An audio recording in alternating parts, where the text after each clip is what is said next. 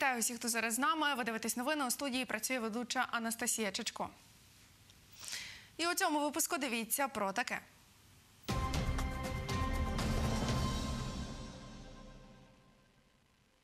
З понеділка уся Тернопільська область у помаранчевій карантинній зоні. Тернополяни, житло яких підтопило після негоди 6 жовтня, підраховують збитки. Чи отримають вони компенсацію? Молодшого інспектора охорони затримали за розповсюдження наркотиків у Чортківському СІЗО. Не читати чужих листів та працювати у будь-яку погоду. Листоноші розповіли Суспільному про свою роботу до Всесвітнього дня пошти.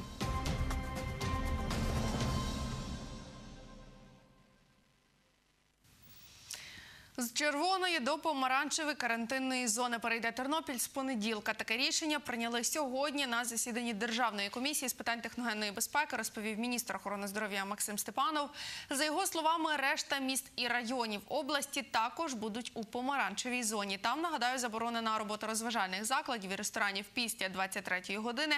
Планова госпіталізація мали б закрити дитячі табори, а масові заходи проводити за умови не більше однієї людини на 20 квадратних метрів метрів. Також сьогодні Міністерство охорони здоров'я оновило список країн червоної та зеленої зон. Нагадаю, що після приїзду з країн червоної зони потрібно проходити самоізоляцію або ж робити тест на COVID-19. Україна, згідно із новим переліком, входить до зеленої зони. У червоній зоні 46 країн, що на 4 країни менше ніж у попередньому списку. У червоному списку, зокрема, Ізраїль, Чорногорія, Аргентина, Іспанія, Нідерланди, Молдова, Франція, Бельгія, Велика Британія, Вірменія, США, Бразилія та інші.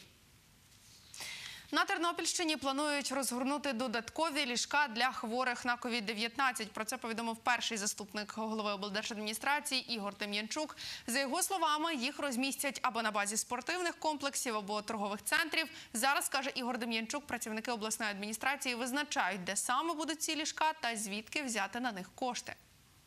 Друге питання, яке розглядалося, це е, забезпечення е, цих ліжкомісць уже наявних централізованим підведенням кисню. Е, На території Тернопільської області ситуація є одною з кращих у цьому плані. Зокрема, з тих 1696 місць 518 забезпечено саме централізованим підведенням кисню, що становить 41% від загальної кількості. І е, це дозволяє на сьогоднішній день е, нашим медик- медикам е, бути теж мати високий показник щодо лікування хворих на ковід. Семеро жителів Тернопільщини, у яких був підтверджений коронавірус, померли через ускладнення за добу. Такий показник в області зареєстрували вперше з початку жовтня. Востаннє його реєстрували 16 вересня. Розповіла головна санітарна лікарка області Оксана Чайчук. За її словами, серед померлих за добу четверо жінок. Це 62-річна тернополянка, 74-річна жителька Козівського району, 80-річна жителька Заліщицького району та 64-річна жителька Теребовлі. Також померли троє чоловіків. Вони тернополяни. Їм було 63, 67 та 79 років. У всіх померлих, каже Оксана Чайчук, були супутні серцево-судинні захворювання та цукровий діабет. Виявили коронавірус за добу у 305 жителів області. Це на 62 таких випадки більше ніж учора, каже Оксана Чайчук. COVID-19 – це є респіраторне е, захворювання, яке має е, хвилеподібний характер. І так чи інакше воно протікає циклами. У нас це, ми бачимо кожних 2-3 тижні є підйоми і є зниження. Сьогодні ми реєструємо підйом, перш- перший день підйому захворювання на COVID-19. На сьогоднішній день наша Тернопільська область перевищує в 2,5 рази показники загальнодержавні. У нас е, зайнятість ліжок е, хворими з підтвердженим діагнозом COVID-19 38%, а з підозрами 47%. Оксана Чайчук каже, за добу найбільше людей захворіли в Тернополі 60, найменше нових випадків 6 у Зборівському районі. І жодного випадку за добу не зареєстрували у Підгаєцькому районі. Завчора вірусологи провели 738 досліджень методом полімеразно-ланцюгової реакції. Одужання підтвердили у 354 жителів Тернопільщини, каже Оксана Чайчук. В Україні другий день поспіль реєструють рекордну кількість нових випадків інфікування. За минулу добу захворіли 5804 людини, найбільше, зокрема, на Харківщині 630 випадків. Госпіталізували по Україні за добу 852 особи. Одужання підтвердили У 2263 пацієнтів 89 померли через ускладнення, розповів міністр охорони здоров'я Максим Степанов. За кількістю підтверджених випадків з початку спостереження Тернопільщина на шостому місці.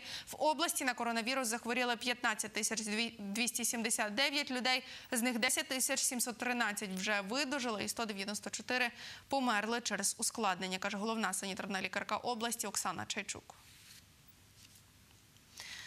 Тернополянка Ольга Футорська, якій 6 жовтня через негоду підтопило квартиру, сьогодні звернулася за компенсацією до міської ради. Каже, сьогодні її будинок оглянули працівники житлово-комунального господарства, щоб підрахувати збитки. Ольга Футорська розповіла, у той день у помешканні було близько 30 сантиметрів води. Через це їй пошкодило меблі та техніку на приблизно 50 тисяч гривень. Сьогодні жінка написала заяву на відшкодування збитків до відділу надзвичайних ситуацій міськради. Як зараз виглядає її квартира та кому ще завдала збитків негода? Дивіться. Ось так виглядала квартира, де мешкає Ольга Футорська 6 жовтня. Це відео знімала її онука Роксолана. Так от двері були в воді. Звідси вода була майже по вікна. Нас в хаті розетки дуже низько. Вода на рівні 30 сантиметрів, розетка на рівні 40 сантиметрів. У нас то таке було пережиття. Дитина, що в хаті мала, все кидала під двері, всі рушники, все кидала під двері. То, то було щось із чимось. Ольга Футорська каже, речі з квартири витягували через вікно. Я отак була в воді. Я зайшла, дитина мені дає документи з хати. А я думаю, як я маю через вікно взяти ті документи, щоб самому не впасти і не воду не кинути. А так тепер виглядають меблі на кухні пенсіонерки. Шкафчики, бачите, все. Я вже не можу закрити. Вже починає здувати. Тут все вже теж не закриє, здуває. Все здуло. Машинка правильно б'є. Пошкоджено. Холодильник теж, певно, пошкоджений, бо як включили, то він морози і морози, що він сам не виключається вже. Ольга Футорська каже, воду з її квартири рятувальники відкачували близько двох годин. А це багатоповерхівка на вулиці Леся Курбаса. На 10-му поверсі мешкає Софія Картуш. Каже, в її квартиру 6 жовтня вода затікала з даху. Та волога там є, і вона там збирається і капає. То ляло дуже звийте, що кляло. Тако, просто не капало собі, а виливалася вся вода. Що стікало, то було.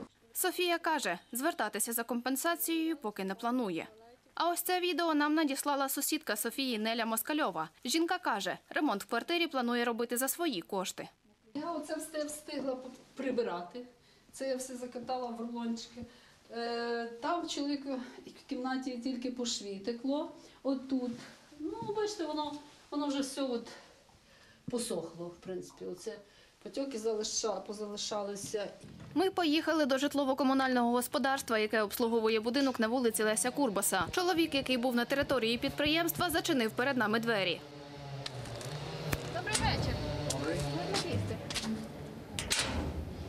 Нагадаю, 6 жовтня в Тернополі випала майже півмісячна норма опадів. Через це у місті підтопило 6 вулиць. Також рятувальники витягли з води 16 автівок і надали допомогу 25 людям. Це водії та пасажири маршруток, автомобілів і пішоходи, які не могли перейти вулицями через воду. Про це розповів речник пожежно-рятувальної служби області Сергій Данілін. Діана Ярошенко, Оксана Галіяш. Новини на Суспільному. Тернопіль. За словами речниці міської ради Мар'яни Зварич, тернополяни, які зазнали збитків під час зливи 6 жовтня, можуть звертатися до житлово-комунальних господарств та на гарячу лінію управління надзвичайних ситуацій міськради до 12 жовтня. Після цього комісія, створена при міськраді, звернеться до уряду, щоб людям відшкодували збитки. Адвокатка Ольга Боднар прокоментувала це так. Якщо багатоквартирні будинки, а тік дах, то це відповідальність тільки ЖЕКу, а не міської ради. Значить, дах був в несправному стані. Якщо, наприклад, вода затікала з води, то це буде питання до того, кому належать комунікації, ці водовідведення і водостоки. Молодшого інспектора охорони Чортківського слідчого ізолятора затримали за розповсюдження наркотиків у СІЗО. Про це повідомила речниця Тернопільської обласної прокуратури Леся Гурецька. За її словами, йому інкримінують незаконну передачу наркотиків у місця позбавлення волі для продажу. За це можуть ув'язнити від 6 до 10 років. Зараз каже Леся Гурецька, перевіряють, чи причетний чоловік до групи, що розповсюджувала наркотики через телеграм-канал на території трьох областей. Її нагадаю затримали вчора. Організатор цього телер- телеграм-каналу ув'язнений Чортківського СІЗО, якому незаконний збут наркотиків інкримінували вдруге. Леся Горецька каже, наразі правоохоронці обирають інспектору міру запобіжного заходу. Злочинну групу, яка привласнювала транспортні вантажі за кордоном та контрабандою, везла їх до України на продаж, викрили працівники Нацполіції України спільно із чеською поліцією. Вони провели понад 50 обшуків у членів банди в Тернопільській, Івано-Франківській, Львівській, Рівненській та Закарпатській областях. До складу групи входили 5 жителів Закарпатської області, 43-річний організатор, співорганізатор і три виконавці, розповів заступник начальника відділу департаменту карного розшуку Нацполіції України Тарас Педак. За його словами, підозрювані створювали фіктивні компанії з перевезення вантажів у 13 країнах. Сума збитків 9,5 мільйонів гривень. Отримавши заказ на логістичні послуги, учасники угрупування, використовуючи підроблені номерні знаки, водійські посвідчення та інші фіктивні документи, отримували товар, який до пункту призначення не доставлявся, а контрабандним шляхом потрапляв до території України та в подальшому реалізовувався. Підозрюваних затримали та оголосили про підозру за статтями шахрайство та створення злочинної організації. Чоловікам загрожує ув'язнення від 5 до 12 років з конфіскацією майна.